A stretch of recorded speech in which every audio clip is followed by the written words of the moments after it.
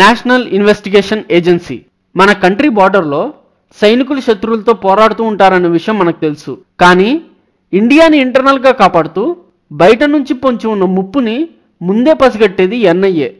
NIA అంటే national investigation agency. So ఇదే ఈరోజు మన టాపిక్. ఎన్ఐఏ ఎలా ఫామ్ అయింది? అండ్ దేశాన్ని కాపాడటంలో ఎలా సక్సెస్ అయింది అనేది మనం తెలుసుకుందాం. యంగ్ స్టూడెంట్స్ గ్రాడ్యుయేట్స్ ఎన్ఐఏలో చేరాలంటే ఆ ప్రొసీజర్ ఏంటి అనేది మనం ఈ వీడియోలో చూద్దాం. నేను Krishna from front lines media start చేసే ముందు చిన్న రిక్వెస్ట్ ఓన్లీ యూస్ఫుల్ వీడియోస్ మాత్రమే క్లియర్గా ఎక్స్ప్లెయిన్ చేయడానికి ట్రై చేస్తున్నాం. మీ సపోర్ట్ మాకు కావాలి. సో ప్లీజ్ మా ఛానల్ని సబ్స్క్రైబ్ చేసుకోండి. Two thousand eight Mumbai attacks తర్వాత అప్పట్లో రూలింగ్లో ఉన్న కాంగ్రెస్కి దేశ భద్రత పెద్ద ఇష్యూ అయిపోయింది. ఆ భారీ టెర్రరిస్ట్ అటాక్ తర్వాత జనాలలో భయంతో పాటు గవర్నమెంట్ మీద కోపం కూడా ఎక్కువైపోయింది. అందుకే ఒక సపరేట్ యాంటీ టెర్రరిస్ట్ టీం దేశం లోపల అండ్ బయట నుంచి పొంచి ఉన్న ముప్పుని ముందే తెలుసుకునేలా ఉండాలి అనుకున్నారు. అప్పట్లో బార్డర్ దగ్గర సైనికులు బయట శత్రువులతో పోరాడుతుంటే దేశంలోని పోలీసులు శాంతి భద్రతలు చూసుకుంటూ ఉండేవాళ్ళు. కానీ వీటి మధ్య ఉన్న చిన్న గ్యాపే ఈ టెర్రరిజం. ఆ గ్యాప్ని యూజ్ చేసుకుని ఆరు నుంచి ఏడు మంది టెర్రరిస్టులు ముంబై లాంటి పెద్ద సిటీలో అటాక్స్ చేసి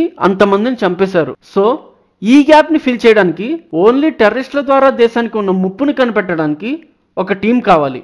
అండ్ ఆ టీమే నేషనల్ ఇన్వెస్టిగేషన్ ఏజెన్సీ. ఈ ఎన్ఐఏకి ఎవరి మీద అనుమానం ఉన్నా అరెస్ట్ చేసేలా మామూలు పోలీసుల కంటే ఎక్కువ పవర్స్ ఉండేలా టూ థౌజండ్ ఎయిట్ డిసెంబర్లో నేషనల్ ఇన్వెస్టిగేషన్ యాక్ట్ ద్వారా ఈ ఎన్ఐఏని స్థాపించారు. టూ థౌజండ్ నైన్ నుంచి ఎన్ఐఏ ఇండియాలో తన వర్క్ స్టార్ట్ చేసింది. ఎన్ఐఏ వాళ్ళు అనుమానిస్తే ఎవరినైనా అరెస్ట్ వారెంట్ లేకుండా పట్టుకోగలరు. ఏ స్టేట్లో అయినా సీఎం అనుమతి లేకపోయినా వాళ్ళు దేశ భద్రత కోసం ఏది అనుకుంటే అది చేసేయచ్చు. ఇంకా ఎన్ఐఏ పర్ఫార్మెన్స్ గురించి మాట్లాడుకుంటే ninety five point eight percent success రేట్తో వరల్డ్లోనే one of the best anti terrorist ఏజెన్సీగా ఉంది. ప్రతి సంవత్సరం కొన్ని వేల మంది టెర్రరిస్ట్ని అరెస్ట్ చేసి మనం ప్రశాంతంగా ఉండేలా చూస్తున్నారు. టూ థౌజండ్ ఎయిట్లో ఎన్ఐఏ స్థాపించక ముందు ఇండియాలో దాదాపు నలభై టెర్రరిస్ట్ అటాక్స్ జరిగాయి. కానీ టూ థౌజండ్ ఎయిట్ తర్వాత ఒకే ఒక్కటి జరిగింది. అది కూడా ముంబైలో టూ థౌజండ్ లెవెన్లో జరిగింది. ఆ తర్వాత బారాముల్లా పఠాన్కోట్ లాంటి టెర్రర్ అటాక్స్ జరిగాయి.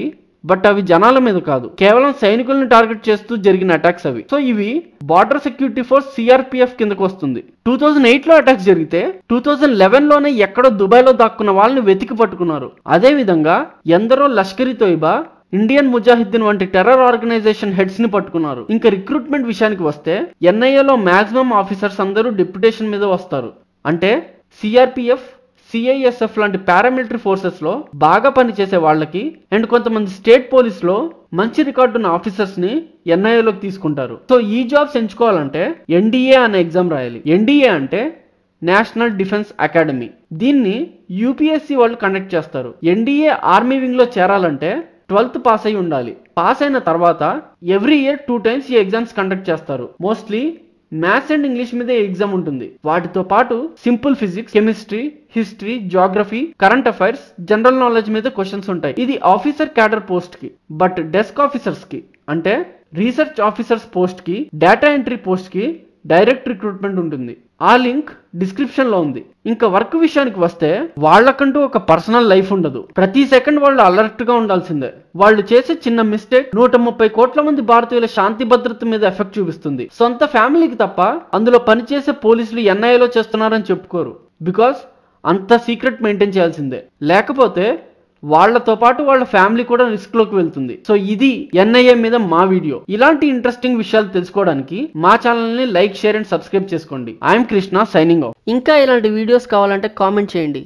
Please like share and subscribe to front lines media